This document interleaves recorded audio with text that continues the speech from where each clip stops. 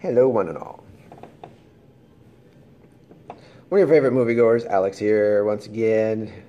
It's August, and the summer that wasn't saga continues. The summer movie season that never happened continues. Looks like a pretty good bet that we will not have any summer movie season like we normally would. I think Tenet was supposed to start it off uh, maybe the end of this month or beginning of next month or some point. I don't see that happening. Cases are spiking of coronavirus, and it's putting a damper on a lot of things, especially things we love, like movies. You'll see them in a different location because it's a lot easier to be sitting in a chair than crouching down in front of all those DVDs that you saw in the background before. And uh, so here we are, August, and a lot of August movies round out the summer. The summer movie season officially ends at the end of August. So, why not do this again? A lot of good movies came out that uh, you'll see. Um, most notably, The Fugitive was a big release in 1993. I was working at the Commack Multiplex at the time, and it was the last movie that the employees at least when I was working there, got to see for free before it opened. Uh, I think we saw it Thursday. And it's great just to have the movie theater to ourselves. I think we saw it at like midnight or something like that. Because a lot of the theaters have to run the movie to make sure all the kinks and stuff are worked out, so we get to see it for free. Might as well. And of course, it was a big hit. Was even nominated for an Oscar. Great one. Another movie that was nominated for an Oscar that came out of nowhere was one of the best surprise is The Sixth Sense. That came out in 99, August. And it was number one for a while. Who knew? I mean, such a crazy concept and obviously a perfect title, The Sixth Sense. We got to see what that's about. Um, what else do I have on my list? I actually have this one, Dirty Dancing. Yeah, that came out in August 1987. A long time ago the coming of age story that's timeless. You've had the time of your life. I actually didn't like it at first, but I've grown to enjoy it. My dad really got into it, and he loved the soundtrack. He'd watch it like almost every week. So it grew on me. What else do I have here? Um, well, Sex, Lies, and Videotape came out in 89. One of my favorite independent films ever. Such a good one what else do I have? Oh, Rise of the Planet of the Apes. Rebooting already an awesome, well, original saga. Maybe the first one was the best, but they decided to redo this and make it more of an origin story of how the apes came to become so intelligent, and it was such a great start. This first one was awesome. It did great uh, stuff for the franchise and revitalized, and you popped out two more sequels after that. Curious to see if they keep going. What else do I have here? Action movies, yes. I was working at the Commack Multiplex when this sucker came out. It was, as I don't break the thing, Hard Target was Jean Claude Van Damme. This was the first movie that John Woo directed here in America with an action star. And it was very enjoyable. Good action flick if you're in the mood for that. Now, here's a guilty pleasure. A lot of people may not agree, but there's something about Masters of the Universe that I really enjoy, even though the costumes are different from the cartoon and it takes place on Earth a lot. Well, good old Courteney Cox in the movie. There's something about the costumes and just the craziness of it that I I'm guilty of enjoying. I'm not saying it's the greatest movie, but it is certainly an enjoyable flick and an interesting take on He-Man and the rest of the gang. Check it out if you're curious. The Abyss was the most expensive movie to be made at the time for a whopping $50 million in 1989 money. James Cameron did a great job, introduced the morphing effect in that movie for the first time. Um, so much more. The, the uh, director's cut, though, is the one you got to see because it makes it gives you a better explanation of why these underwater creatures exist. So I got the double disc back in the day. This was good too, G.I. Jane. even though she's a Marine. but that's what they went for. Demi Moore did good as will make it away to the Marine Corps. What were other notable things to look out? The MCU had one entry in August Guardians of the Galaxy, the first one. It was a good surprise. I didn't, uh, I didn't like Guardians of the Galaxy. That's the next comic book uh, team they're going to put out there, and it was a great surprise what they did. I am Groot. Stakeout. I don't own Stakeout. That was a good one. Richard, Richard Dreyfuss and Emilio Estevez staking out the house. So funny. So well done. What else? Ah, ha, ha. Well, we have some other comedies. There was a lot of comedies. In 89, this was a good one by Ron Howard, Parenthood. Such an enjoyable ensemble comedy. Steve Martin heading the cast. Oop, I just dusted his wee wee. Steve Martin. Let's try that again. but a very fun family film. Well, fam, about family. There's some parts that aren't for families, but it's PG 13, so you can see some stuff. This is one you definitely don't want to bring your kids to. Definitely not the 40 year old virgin with the one and only Steve Carell. Very funny. This was a big surprise, and I'm sure it helped his career. I mean, he was not too well known until this sucker came out. Really funny. This is Easy Money. Great one with Joe Pesci and the one and only Rodney Dangerfield.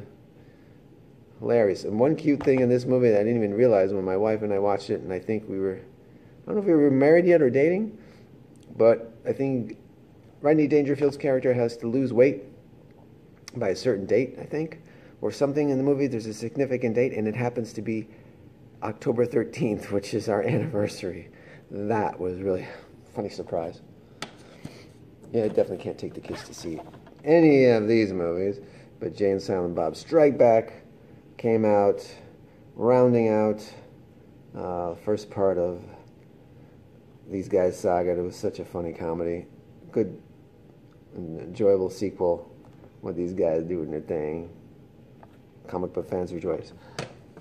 Another great comedy, Rat Race. This was a big surprise. It was in the vein of It's a Mad, Mad, Mad, Mad, Mad World, with an ensemble cast trying to find this, uh, find a way to get from Vegas to, oh shoot, I forgot, small town, and had to get the uh, the money bag or whatever is the grand prize, and they do everything in their power to do to get there, and so many zany shenanigans happen.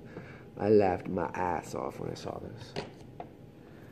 And here's the classic. Definitely can't have the kids see this, but Fast Times at Ridgemont High. Another ensemble piece creating stars like the one and only Sean Penn. Hey, bud, let's party. Other people like Phoebe Cates, Judge Reinhold, uh, Jennifer Jason Leigh, Forest Whitaker. It launched so many careers. It was uh, one of those seminal coming of age teen romps you got to check out when you're older. Okay. Speaking of teen romps, Weird Science. The one and only John Hughes was reunited with Anthony Michael Hall, and of course Kelly LeBrock, the woman they created. What do you? What would you little maniacs like to do first? Such a fun film, and Bill Paxton as Chet. such great classic lines. I mean, it's such a fun movie when John Hughes got to be a little crazy and let his imagination go wild with those guys. I don't know why I want to end with this, but this was a this was that summer, 2001, where comedies reigned supreme, in my opinion. And Silent Bob Strike Back was from that year, and so was this awesome sequel, Rush Hour 2, which made a fortune reuniting Jackie Chan and Chris Tucker. And it was a fun, enjoyable romp. Guys capturing the magic again. It was a fun summer. Anything else that I I don't have that is worthy worthy of noting? Tropic Thunder. that was a funny flick with Ben Stiller, Robert Downey Jr., and Jack Black. Stardust was one that you may not, if you've seen that one, it's a great fantasy movie and very touching at the end. Simone. Simone was a, a, nice surprise with Al Pacino. You haven't seen that? Check it out. The Expendables trilogy. They all came out in August. I just saw them maybe last year for the first time. So those were pretty darn good, man. There's other ones that came out. Oh, Desperado, nice sequel to El Mariachi, but Antonio Banderas took, the, took over the role. The Thomas Crown Affair remake with Pierce Brosnan, another enjoyable film from that magic year of '99. A terrible title, Dick. That also came out in '99, but it was about Richard Nixon.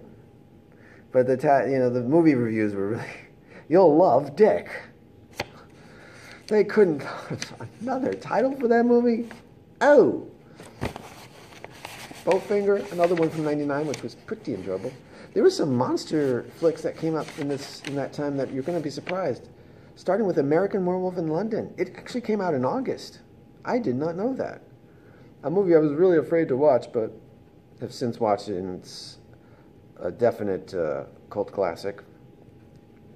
A Oscar-winning wolf transformation scene, and a definite Halloween movie to watch. Teen Wolf came out that same year. Uh, not same year, uh, same month.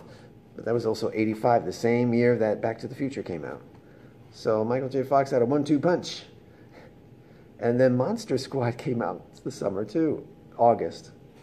I enjoyed it at the time. I definitely thought it was a fun film, especially.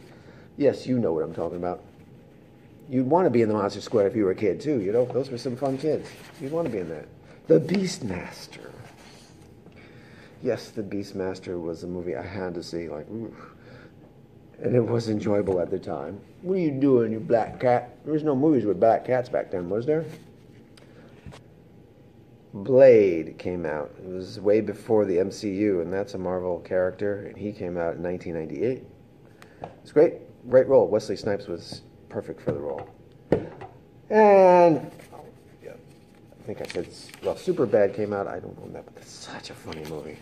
I love that one. And The Bourne Ultimatum was that same year, 2007. That was the year of the trilogies Spider-Man 3, uh, the third Pirates movie, the third Shrek third Rush Hour, and Bourne Ultimatum was probably the best one of the three to come out. That was a good, solid sequel. All right. Well, that little snafu, uh, notwithstanding, revisit some old movies. I mean, there's plenty of things you can see that are streaming, but there's some enjoyable ones that came out in August. Don't don't uh, you know leave August in the wind. Don't forget August is still a summer movie month, and there's still some awesome movies that came out in that month. So, check out all the trailers that I have listed. The movies I mentioned, there's a few I haven't, but you'll check it out, see it, see them there listed, and uh, I might continue this in September, even though it's not a summer movie thing. But I had some fun movies that enjoyable movies that came out in um, August. Um, I had some fun movies that came out in September too, so I think I'll just keep this tradition going. But list some of your favorite August movies. If there's one I, I haven't I haven't mentioned, please mention them below and uh, let me know. As always, spin real and stay safe and hey, relive some of your favorite summer movies in August, as I'm going to. Until then, see ya.